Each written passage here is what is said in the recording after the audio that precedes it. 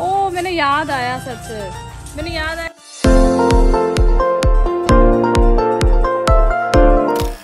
Good morning everyone ਸਵੇਰ ਦੀ ਮੌ ਸਵੇਰ ਦੀ morning ਜਿਹੜੀ ਬਹੁਤ ਜ਼ਿਆਦਾ ਸੋਹਣੀ ਹੈ ਘਾਹ ਤੇ ਤਰੇਲ ਪਈ ਹੋਈ ਹੈ ਤੇ ਸੂਰਜ ਦੇਵਤਾ ਜੀ ਆ ਚੁੱਕਿਆ ਤੇ ਹੁਣ ਇੱਧਰ ਮੈਂ ਬਣਾ ਰਹੀ ਹਾਂ ਬ੍ਰੇਕਫਾਸਟ ਕਿਉਂਕਿ ਬ੍ਰੇਕਫਾਸਟ ਜਲਦੀ ਜਲਦੀ ਬਣਾ ਲਾਂਗੇ ਤੇ ਫਿਰ ਜਲਦੀ ਜਲਦੀ ਸਾਰੇ ਜਣੇ ਖਾ ਵੀ ਲਊਗੇ ਤੇ ਜੀ, ਸਤਿ ਸ਼੍ਰੀ ਅਕਾਲ ਜੀ ਸਾਰਿਆਂ ਨੂੰ। ਕੀ ਹਾਲ ਚਾਲ ਨੇ ਤੁਹਾਡੇ ਸਭ ਦੇ? ਹੋ ਤੁਸੀਂ ਸਾਰੇ ਬਹੁਤ ਵਧੀਆ ਹੋਵੋਗੇ। ਤੁਸੀਂ ਸਾਰੇ ਬਹੁਤ ਵਧੀਆ ਤਾਂ ਆਪਾਂ ਵੀ ਬਹੁਤ ਜ਼ਿਆਦਾ ਵਧੀਆ, ਤੁਹਾਨੂੰ ਪਤਾ ਹੀ ਹੈ। ਅੱਜ ਅਸੀਂ ਤਿਆਰ ਸ਼ਿਆਰ ਹੋ ਕੇ ਤੁਹਾਨੂੰ ਮਿਲਦੇ ਪਏ ਹਾਂ, ਕਿਉਂਕਿ ਆਪਾਂ ਜਾ ਰਹੇ ਹਾਂ ਅੱਜ ਗੁਰਦੁਆਰਾ ਸਾਹਿਬ ਮੱਥਾ ਟੇਕਣ ਵਾਸਤੇ। ਕਿੱਥੇ ਜਾ ਰਹੇ ਹਾਂ? ਤੁਸੀਂ ਵੀ ਨਾਲ ਨਾਲ ਚੱਲੋ ਤੇ ਤੁਹਾਨੂੰ ਵੀ ਪਤਾ ਲੱਗ ਜਾਏਗਾ ਕਿੱਥੇ ਜਾ ਰਹੇ ਹਾਂ। ਤੇ ਮੌਸਮ ਅੱਜ ਦਾ ਬਹੁਤ ਹੀ ਜ਼ਿਆਦਾ ਵਧੀਆ ਹੋ ਗਿਆ। ਸਵੇਰੇ ਧੁੱਪ ਸੀਗੀ ਬਟ ਹੁਣ ਬੱਦਲ ਹੋ ਗਏ। ਆ ਦੇਖੋ। ਤੇ ਹਵਾ ਚੱਲਦੀ ਪਈ ਹੈ, ਮੌਸਮ ਬਹੁਤ ਠੰਡਾ ਹੋ ਗਿਆ ਤੇ ਮੈਂ ਪਾਇਆ ਆਹ ਵਾਲਾ ਸੂਟ ਤੇ ਸਮਾਈਲੀ ਨੇ ਵੀ ਪਾਇਆ ਕੁਝ ਇਸ ਤਰ੍ਹਾਂ ਦਾ। ਬਾਕੀ ਅਰਸ਼ ਚਲਾ ਗਿਆ ਹੈ ਕਾਰ ਵਿੱਚ, ਬਸ ਸਾਡੀ ਵੇਟ ਹੋ ਰਹੀ ਹੈ। ਅਸੀਂ ਕਿਹਾ ਚਲੋ ਵਲੌਗ ਸਟਾਰਟ ਕਰ ਲਈ ਇੱਕ ਵਾਰੀ ਘਰੋਂ। ਫਿਰ ਜਾਂਦੇ ਜਾਂਦੇ ਹਨਾ, ਫਿਰ ਸਾਰਾ ਵਲੌਗ ਕਰਾਂਗੇ। ਅੱਜ ਆਪਾਂ ਬਾਹਰ ਜਾ ਰਹੇ ਹਾਂ ਨਾ ਇਸ ਲਈ ਸੰਡੇ ਦਾ ਦਿਨ ਹੈ, ਬੱਚਿਆਂ ਦੀ ਹੈਗੀ ਛੁੱਟੀ ਤੇ ਮੌਸਮ ਵੀ ਬਹੁਤ ਜ਼ਿਆਦਾ ਵਧੀਆ, ਸੋ ਇਹਦਾ ਮਜ਼ਾ ਲਿਆ ਜਾਵੇ। ਤੇ ਚਲਿਏ, ਚੱਲੋ, ਚੱਲਦੇ ਹਾਂ।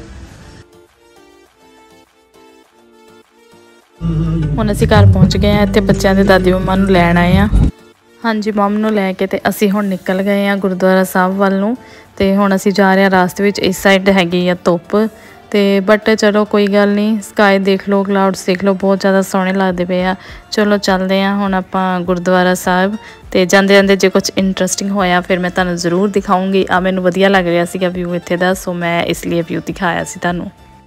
ਆ ਜਿਹੜਾ ਬਣਿਆ ਹੁੰਦਾ ਨਾ ਟਰੀਜ਼ ਨਾਲ ਪੂਰਾ ਉੱਪਰੋਂ ਦੇਖੋ ਤੁਸੀਂ ਪੂਰਾ ਯੂ ਬਣਿਆ ਹੁੰਦਾ ਨਾ ਬਹੁਤ ਹੀ ਜ਼ਿਆਦਾ ਸੋਹਣਾ ਲੱਗਦਾ ਤੇ ਇਸ ਸਾਈਡ ਤੇ ਇਹ ਵੀ ਸੀਗਾ ਤੇ ਸੋ ਮੈਂ ਇਸ ਲਈ ਦਿਖਾਇਆ ਹੁਣ ਆਪਾਂ ਪਹੁੰਚ ਗਏ ਆ ਗੁਰਦੁਆਰਾ ਸਾਹਿਬ। ਹੁਣ ਤਾਂ ਗੁਰਦੁਆਰਾ ਸਾਹਿਬ ਜਿਹੜੇ ਇੱਥੇ ਹੈਗੇ ਆ, ਉਹਨਾਂ ਨੂੰ ਪਤਾ ਲੱਗ ਹੀ ਗਿਆ ਹੁਣ ਆਪਾਂ ਕਿਹੜੇ ਗੁਰਦੁਆਰੇ ਆਏ ਆ ਹਾਂਜੀ ਆਪਾਂ ਆਏ ਆ ਜੀ ਗੁਰਦੁਆਰਾ ਸ਼ਹੀਦ ਬਾਬਾ ਨਿਹਾਲ ਸਿੰਘ ਜੀ ਤਨਨ ਸਾਹਿਬ ਗੁਰਦੁਆਰੇ ਆਏ ਆ ਆਪਾਂ।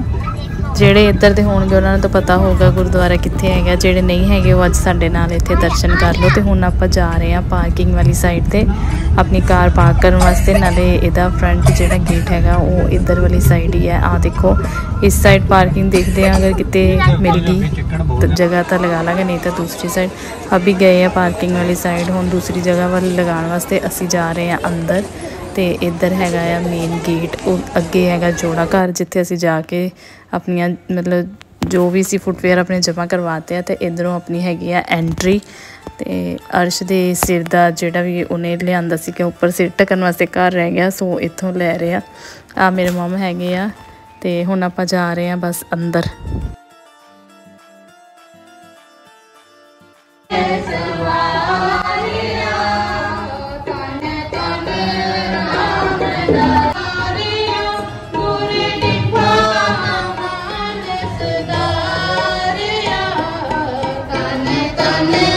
ਲੋ ਜੀ, ਸਾਰੇ ਜਾਣੇ ਲੰਗਰ ਛਕ ਲਓ ਹੁਣ। ਹੁਣ ਆਪਾਂ ਮੱਥਾ ਟੇਕ ਕੇ ਤੇ ਜਾ ਰਹੇ ਆ ਗੁਰਦੁਆਰੇ ਚੋਂ ਵਾਪਸੀ, ਘਰ ਵੱਲ ਨੂੰ ਜਾ ਰਹੇ ਆ ਹੁਣ ਆਪਾਂ ਘਰ ਜਾ ਕੇ ਫੇਰ ਤੁਹਾਨੂੰ ਮਿਲਦੇ ਆ ਸੋ ਗਾਇਸ ਸਮਾਈਲੀ ਨੂੰ ਲੱਗੀ ਸੀ ਥੋੜੀ ਜਿਹੀ ਭੁੱਖ, ਸੋ ਸੈਂਡਵਿਚਸ ਬਣਵਾ ਰਹੀ ਹੈ। ਮੇਰੇ ਤੋਂ ਕਹਿੰਦੀ ਸੈਂਡਵਿਚ ਹੀ ਦੇ ਦਿਓ। ਮੈਂ ਕੱਲ ਵੀ ਬਣਾ ਕੇ ਦਿੱਤੇ ਸੀ, ਇਹਨਾਂ ਨੂੰ ਟੇਸਟ ਲੱਗੇ। ਇੱਕ ਅਰਸ਼ ਲਈ ਤੇ ਇੱਕ ਸਮਾਈਲੀ ਲਈ ਹੈਲੋ ਗਾਇਸ ਹੈਲੋ ਗਾਇਸ ਇਸ ਲਈ ਕਿਉਂਕਿ ਨਾ ਦੁਪਹਿਰ ਦੇ ਟਾਈਮ ਅਸੀਂ ਘਰ ਆਏ ਸੀਗੇ।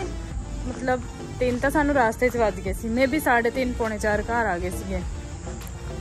ਤੇ ਆ ਕੇ ਚੇਂਜ ਚੇਂਜ ਕੀਤਾ ਇੰਨਾ ਤੇਜ਼ ਹੈਡੇਕ ਹੋ ਰਿਹਾ ਨਾ ਮੇਰਾ ਇੰਨਾ ਤੇਜ਼ ਉਦੋਂ ਹੀ ਹੋ ਰਿਹਾ ਸੀਗਾ ਫਿਰ ਮੈਂ ਕਾਫੀ ਰੈਸਟ ਕੀਤੀ 2-3 ਘੰਟੇ। ਬਟ ਹਲੇ ਤੱਕ ਵੀ ਠੀਕ ਨਹੀਂ ਹੋਇਆ ਮੈਨੂੰ ਲੱਗਦਾ ਪੇਨ ਕਿਲਰ ਲੈਣੀ ਹੀ ਪੈਣੀ ਹੈ। ਤਾਂ ਮੈਂ ਥੋੜਾ ਜਿਹਾ ਬਾਹਰ ਆਈ ਸੀ ਮੈਂ ਕਿਹਾ ਥੋੜੀ ਫਰੈਸ਼ ਏਅਰ ਲੈ ਲਈਏ। ਨਾਲੇ ਇੱਥੋਂ ਲਾਈਟਾਂ ਜਗਾ ਦਈਏ। ਕੀ ਹੋਇਆ? ਨਹੀਂ।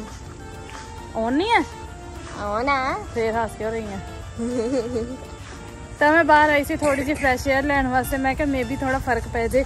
ਇੱਕ ਮੈਨੂੰ ਨਾ ਗੱਡੀ 'ਚ ਨਾ ਮਤਲਬ ਜਦੋਂ ਵੀ ਮੈਂ ਕਾਰ 'ਚ ਕਿਤੇ ਆਵਾਂ ਜਾਵਾਂ ਮੈਨੂੰ ਸਫੋਕੇਸ਼ਨ ਹੋ ਜਾਂਦੀ ਹੈ। ਬਸ ਉਹਦੇ ਕਰਕੇ ਮੈਨੂੰ ਨਾ ਹੈਡੇਕ ਹੋਣ ਲੱਗ ਪੈਂਦਾ ਬਹੁਤ ਜ਼ਿਆਦਾ ਤੇਜ਼। ਤੇ ਸੋ ਇਸ ਲਈ ਨਾ ਅੱਜ ਤਾਂ ਪਤਾ ਆ ਕੇ ਸੋ ਵੀ ਗਿਆ ਸੀ। 5 ਮਿੰਟ ਸੁੱਤਾ ਫੇਰ ਉੱਠ ਗਿਆ। ਅੱਜ ਇਹ ਦੋ ਦੋ ਗੁਰਦੁਆਰੇ ਘੁੰਮ ਕੇ ਗਿਆ। ਪਹਿਲਾਂ ਸਵੇਰੇ ਗਿਆ ਸੀ ਮਾਰਨਿੰਗ 'ਚ ਦਾਦੂ ਦਾਦੀ ਦੇ ਨਾਲ। ਗੁਰਦੁਆਰਾ ਗਿਆ ਸੀ।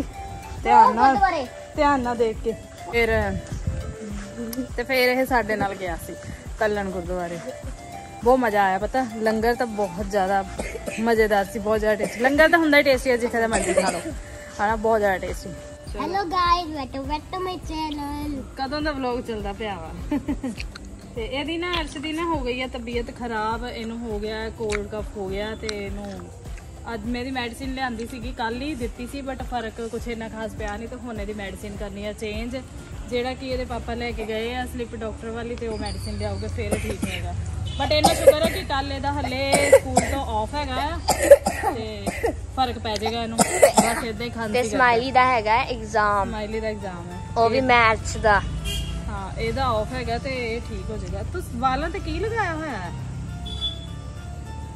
ਪਤਾ ਨਹੀਂ ਕੀ ਲੱਗਾ ਵਾਲਾਂ ਤੇ ਗਿੱਲਾ ਗਿੱਲਾ ਜਿਹਾ। ਐਸੇ ਇੱਕ ਵਾਰੀ ਬੋਲੋ ਹੈਲੋ ਹੈਲੋ ਆਵਾਜ਼ ਚੇਂਜ ਹੋ ਗਈ ਹੈ। ਆਵਾਜ਼ ਚੇਂਜ ਹੋ ਗਈ ਗਾਇਸ ਮੈਨੂੰ ਲੱਗਦਾ ਮੈਨੂੰ ਪੇਲਿੰਗ ਕਿਲਰ ਖਾਣੀ ਪੈਣੀ। ਅੱਜ ਮੇਰਾ ਨਾ ਸਿਰ ਦਰਦ ਠੀਕ ਨਹੀਂ ਹੋ ਰਿਹਾ। ਉਹ ਦੇਖੋ ਚੰਦਾ ਮਾਮਾ। ਮੈਂ ਗੱਲ ਕਰੀ ਜਾ ਰਹੀ ਹਾਂ। ਮੈਂ ਚੰਦਾ ਮਾਮਾ ਦਿਖਾਤਾ। ਚੰਦਾ ਮਾਮਾ। ਮੈਂ ਇਹ ਕਹਿ ਰਹੀ ਸੀਗੀ ਇੱਕ ਸਾਈਡ ਆਓ ਮੈਂ ਜੀ। ਮੈਂ ਇਹ ਕਹਿ ਰਹੀ ਸੀ ਕਿ ਮੇਰਾ ਹੈਡੇਕ ਬਹੁਤ ਤੇਜ਼ ਹੋ ਰਿਹਾ ਹੱਲੇ ਵੀ ਠੀਕ ਨਹੀਂ ਹੋ ਰਿਹਾ। ਮੈਨੂੰ ਲੱਗਦਾ ਮੈਨੂੰ ਪੇਨ ਕਿਲਰ ਲੈਣੀ ਹੀ ਪੈਣੀ ਹੈ। ਇਹ ਕਹਿ ਰਹੀ ਸੀ। ਤੇ ਅੱਜ ਸੂਟ ਪਾਇਆ ਸੀਗਾ ਨਾ ਮੈਂ। ਡੇਲੀ ਰੁਟੀਨ 'ਚ ਜਿੱਦਾਂ ਹੁੰਦਾ ਆਪਾਂ ਮਤਲਬ ਇਦਾਂ ਹੀ ਪੈਂਟ ਵਗੈਰਾ ਪਾ ਲਈਦੀ ਆ ਘਰ 'ਚ ਆਪਾਂ ਟੀ-ਸ਼ਰਟ ਲੋਅਰ ਪਾ ਲਈਦੇ ਆ ਹਨਾ। ਅੱਜ ਸੂਟ ਪਾਇਆ ਸੀ ਥੋੜਾ ਨਾ ਉਹਨੂੰ ਕਮਰ ਵੀ ਜ਼ਿਆਦਾ ਹੀ ਪਿਆ ਹੋਇਆ ਸੀ। ਪਰ ਮੈਂ ਉਹ 'ਚ ਨਾ ਵਧੀਆ ਵਧੀਆ ਫੋਟੋ ਖਿੱਚੀਆਂ। ਸਮਾਈਲੀ ਨੇ ਹੀ ਖਿੱਚੀਆਂ ਮੇਰੀਆਂ ਕਾਫੀ ਖਿੱਚੀਆਂ ਆ ਉਹਦੇ ਵਿੱਚ ਸੋਹਣੀਆਂ ਜਿਹੜੀਆਂ ਹੋ ਗਈਆਂ। ਬਸ ਦੋ ਜਾਂ ਤਿੰਨ ਹੀ ਹੈਗੀਆਂ। ਦੇਖੋ ਅੱਜ ਦੀ ਆਵਾਜ਼ ਕਿੰਨੀ ਬਦਲੀ ਹੋਈ ਆ। ਹਾਂ ਚੇਂਜ ਹੋ ਗਈ। ਅੱਛਾ ਲੱਗ ਰਿਹਾ ਹਾਂ? ਹਾਂ। ਚਲ ਹਨੇਰਾ ਹੋ ਗਿਆ। ਤੇ ਅੱਜ ਹੈ ਨਾ ਪਤਾ ਕੀ ਮੈਂ ਹਾਂ ਤੁਹਾਨੂੰ ਇਹ ਦੱਸ ਰਹੀ ਸੀ ਨਾ ਕਿ ਲੰਗਰ ਬਹੁਤ ਜ਼ਿਆਦਾ ਟੇਸਟੀ ਜਿੱਥੇ ਦਾ ਮਰਜ਼ੀ ਖਾ ਲਓ ਚਲੋ ਵਧੀਆ ਹੀ ਹੁੰਦਾ ਹੈ। ਤੇ ਲੰਗਰ ਆਪਾਂ ਸਾਰਿਆਂ ਨੇ ਖਾਦਾ ਸੀ ਦੁਪਹਿਰ ਦਾ ਟਾਈਮ ਸੀਗਾ। ਤੇ ਖਾਣਾ ਵੈਸੇ ਖਾਈਦਾ ਸਵੇਰੇ ਸ਼ਾਮੀ ਖਾਈਦਾ ਹਨਾ ਸਵੇਰੇ ਤੇ ਰਾਤ ਯਾਨੀ ਕਿ ਉਦਾਂ ਤਾਂ ਖਾਈਦਾ ਨਹੀਂ ਅੱਜ ਦੁਪਹਿਰੇ ਖਾਦਾ ਸੀ।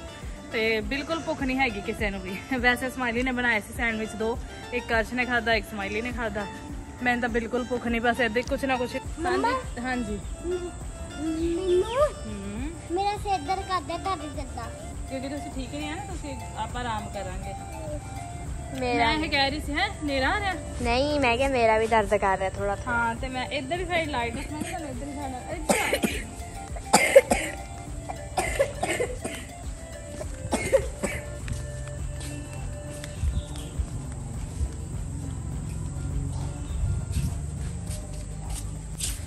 ਮੈਨੂੰ ਯਾਦ ਆਇਆ ਸੱਚ। ਮੈਨੂੰ ਯਾਦ ਆਇਆ ਗਾਇਸ ਮੈਂ ਤੁਹਾਨੂੰ ਪਨੀਰੀ ਦਿਖਾਣੀ ਸੀ ਸਾਰਿਆਂ ਨੂੰ ਉਧਰ ਲੱਗੀ ਹੋਈ ਹੈ ਨਾ? ਹੁਣ ਹਨੇਰਾ ਹੋ ਗਿਆ ਹੁਣ ਨਹੀਂ ਦਿਖਾ ਹੋਣੀ ਮਾਰਨਿੰਗ 'ਚ ਦਿਖਾਉਂਗੀ ਆ ਐਕਚੁਅਲੀ ਅੱਜ ਅਸੀਂ ਚਲੇ ਗਏ ਸੀਗੇ ਨਾ ਗੁਰਦੁਆਰੇ ਸੋ ਇਸ ਲਈ। ਤੇ ਹੋਰ ਹੋਰ ਮੈਂ ਇਹ ਕਹਿ ਰਹੀ ਸੀ ਕਿ ਬਸ ਏਦਾਂ ਹੀ ਮਾੜਾ ਮੋਟਾ ਕੁਝ ਨਾ ਕੁਝ ਖਾ ਕੇ ਆਪਾਂ ਬਸ ਸੋ ਸੂ ਜਾਣਾ ਅੱਜ ਨਾ ਮਤਲਬ ਹੈਡੇਕ ਇੰਨਾ ਜ਼ਿਆਦਾ ਹੋ ਰਿਹਾ। ਕੁਝ ਕੰਮ ਵੀ ਹੈ ਨਹੀਂ ਕਰਨ ਨੂੰ ਨਾ ਮੇਰਾ ਕੁਝ ਦਿਲ ਕਰ ਰਿਹਾ। ਬਸ ਵਲੌਗ ਦਾ ਐਂਡ ਕਰਨਾ ਸੀਗਾ ਸੋ ਮੈਂ ਤੁਹਾਡੇ ਨਾਲ ਗੱਲਾਂ ਕਰ